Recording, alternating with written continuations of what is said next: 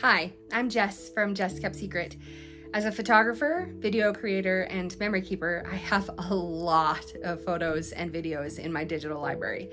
My files used to be an absolute mess. It was hard to find what I was looking for, and the thought of trying to organize them made doing the dishes suddenly look like my idea of fun. And on the rare occasion when I did manage to get them into some semblance of order, it didn't last long because I didn't have a reliable system for keeping them that way. But those photos and videos are incredibly important to me. They're my personal and family history, my memories, a record of my life and the things that brought me joy and made me who I am. Keeping them organized is a vital part of honoring and preserving those memories.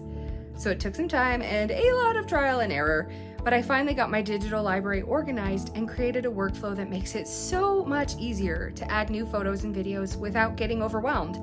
And once the original organizing is done, following this workflow when I'm only dealing with a small number of photos usually takes me less time than this tutorial. So today I'm going to walk you through the steps I use to get my behemoth of a photo library organized for good. Let's get started.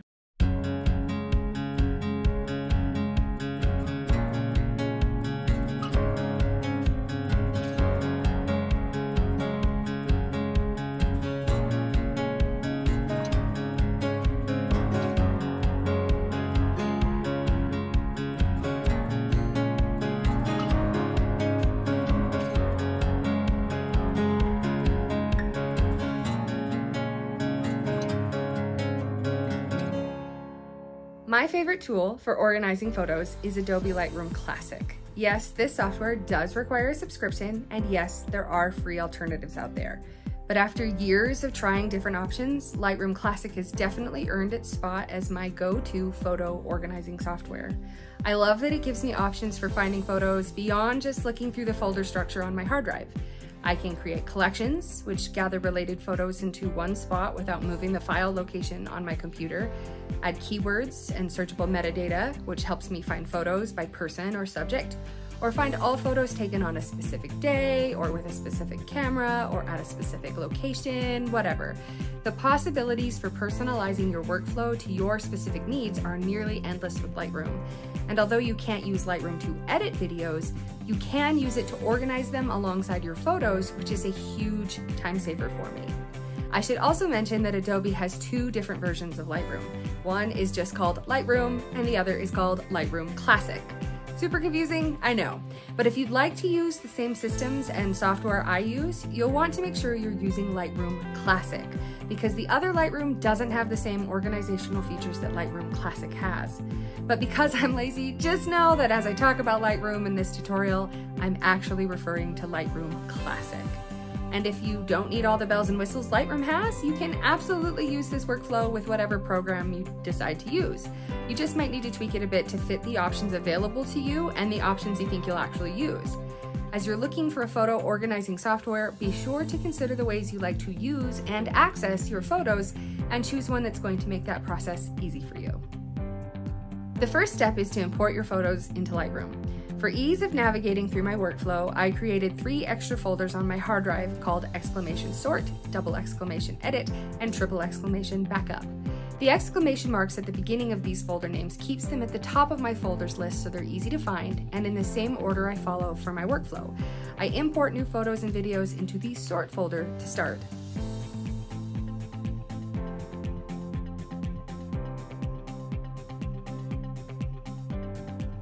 Next, I sort my photos and videos into subfolders inside the Edit folder.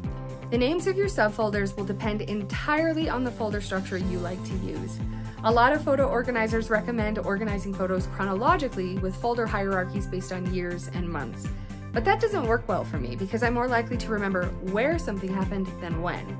So I typically use folders named after the location and occasionally create subfolders within those location folders if multiple significant events happened in that place.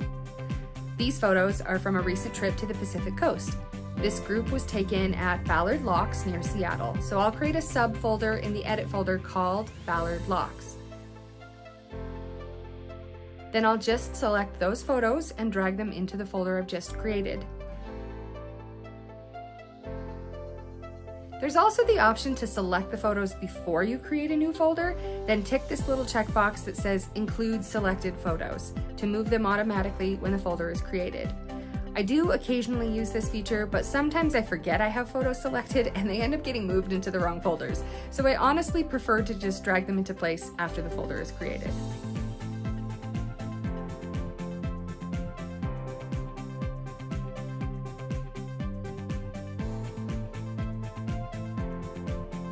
Once your photos and videos are sorted into your subfolders, it's time to purge the ones you don't need to keep.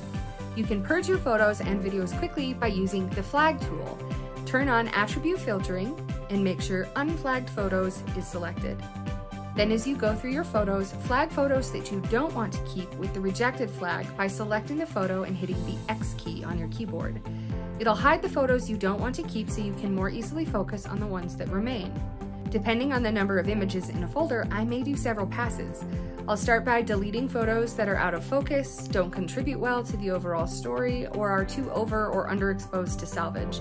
I also look for duplicates or close matches, and when two photos are compositionally identical, I like to use the compare tool to zoom in and check focus so I can keep the sharper image. After you're satisfied with the photos you have left, switch the attribute filtering to filter by rejected photos, then delete them all at once. Next, I add my keywords.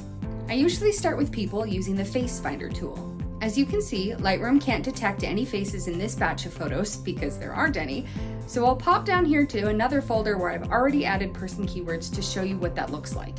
You also might end up with some faces detected that either aren't faces or aren't people you necessarily want to tag, such as strangers in a crowd. You can just use the delete icon to get rid of those. After using the face detection tool, I'll usually go back through and manually add any people that were missed, either by using the face area tool here or just typing the names in the keyword field. I also take a lot of photos of plants and animals, so I'll use related keywords to tag those as well. You can create keywords for whatever you like, so it's a good idea to create keywords for anything you might want to easily find in the future. For example, I could tag this photo with the keyword boats, and then I can easily find all photos of boats in my collection. Keywords are hierarchical in Lightroom, so you can niche down as much as you'd like. In my animal keywords, I have them broken up by taxonomical families, species, and individual animals. That way I can look for all photos of dogs, or I can just look for photos of my dog, Basie. Isn't she cute? Next, I'll double check to make sure the date attached to the photo is correct. If you're dealing with new photos or videos from a camera with a properly configured timestamp, this usually won't be an issue. But photos downloaded from emails or Facebook or imported from a scanner may have a date that doesn't reflect when the photo was actually taken. You can update the date for photos using the metadata panel on the right side. Selecting multiple files in the grid view will apply the new date to all the selected files as long as it's set to selected photos here and not target photo. But be careful. If any of the files in your selection have dates that are different, their dates will be adjusted by the corresponding time increment. Remember the one photo that I'd already changed to the 9th? Because it was selected with the others, when I increased the date by two days, it changed this photo's date from the 9th to the 11th. My next step is to rename all the files. I like to follow a standard naming structure that includes the date in year month date format, or just the year or year and month, depending on the information I have, the location or event, and any people, animals, or important details I want to save. An easy way to do this is to use the metadata panel again. Quick note here, Lightroom lets you customize your metadata panel to show the fields you personally need to use. If your metadata panel doesn't look like mine, you can adjust it using this customize button and then checking the boxes next to all of the fields you want to use. I'll put the location or event in the title field and the people, animals, or desired details in the caption field.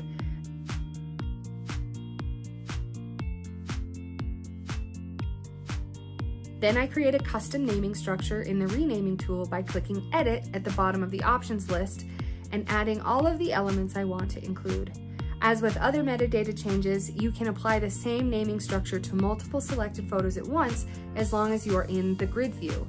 It'll automatically pull the information you've entered into your metadata fields and apply them to the appropriate photo.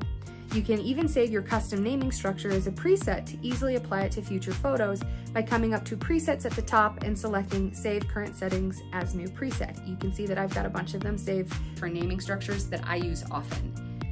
Next time you want to use that naming structure, you can just select it from the list. Another thing to note here is that sometimes if you use a naming structure that includes a metadata field that you haven't filled out, you'll end up with the file name that includes underscores where the missing data should be. You can either change it manually or create a new naming preset to match the data you want to include for related photos.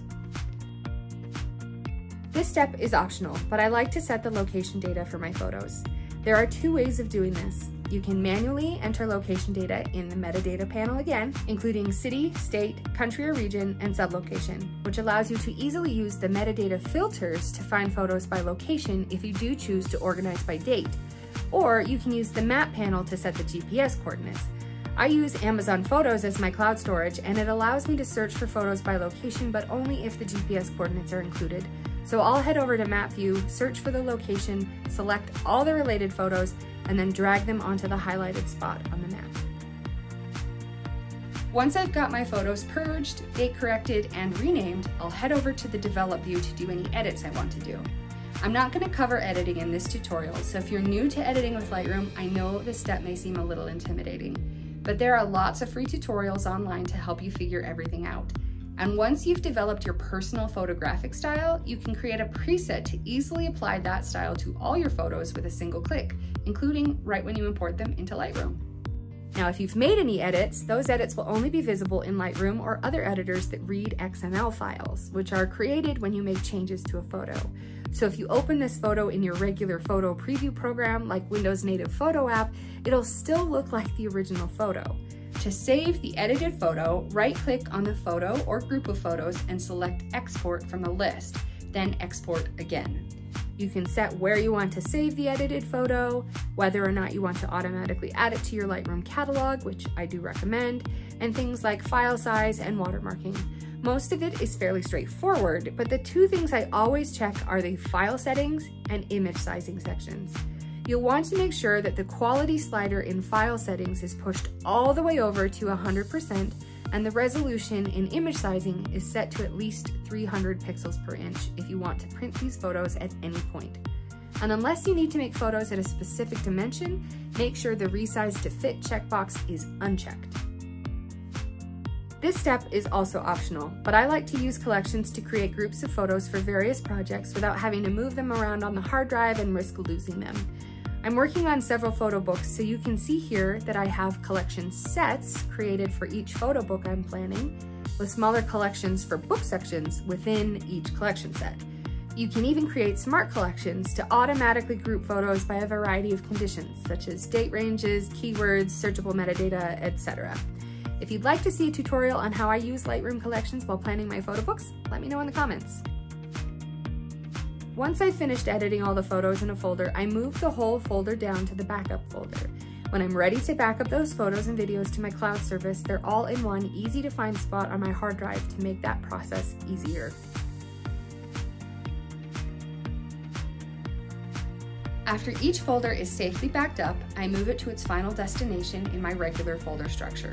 So for my location-based organization system, I'll just drag all of these folders for locations in Washington down to my Washington folder. Some of them might be moved into subfolders within the Washington folder, like that Ballard Locks folder, which I'll move into my Seattle folder. If I already have a folder for a certain location, I'll move just the photos and videos into the existing folder and remove the now empty folder from the backup folder. The most important part of keeping your photos and videos organized is doing it consistently and regularly. If you only do it once a year, you're gonna have a lot of files to sort through and it's gonna take more time and maybe be overwhelming. But if you do it more often, you'll have fewer files to work with and you can get it done quickly. For me, Sundays have become my family history day, so at least once a month I gather all of my photos from my phone and my camera and photos shared with me by friends and family, and I do a quick run through this workflow to get them sorted and backed up, and it usually only takes me a few minutes. And that's it.